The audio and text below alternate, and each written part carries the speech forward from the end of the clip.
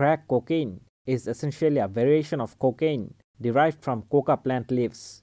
When powdered cocaine is combined with a weak base like baking soda, it transforms into solid chunks known as rocks.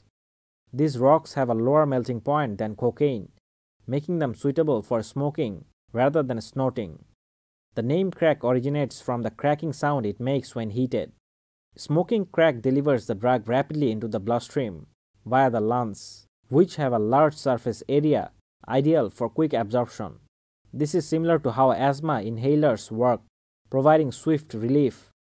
Once inhaled, the effects reach the brain in about seconds, much faster than snorted cocaine, which takes around 10 minutes. In the brain, crack and cocaine are identical. Users initially experience heightened energy, alertness, and sensory perception. Crack targets the ventral tegmental area, releasing significant amount of dopamine, the neurotransmitters linked to pleasure and euphoria.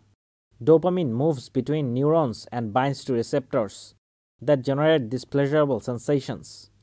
Typically, dopamine is reabsorbed by the neuron via a dopamine transporter. Crack interferes with this process by blocking the transporter causing dopamine to accumulate and continuously stimulate the receptors. This results in the intense euphoria lasting around 10 minutes.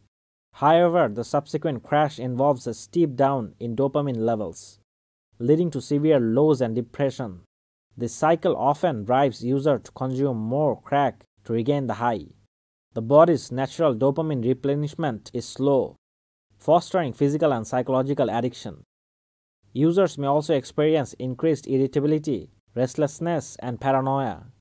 Severe abuse can lead to delusional parasitosis, where individuals believe bugs are crawling under their skin, prompting harmful scratching or biting.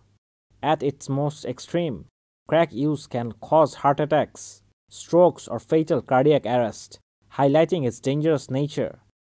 Clearly, crack cocaine's risk make it something to avoid. As always, thank you for watching. If you enjoyed the video, make sure to leave a like and subscribe to our channel. Also, don't forget to share your opinion in the comments section.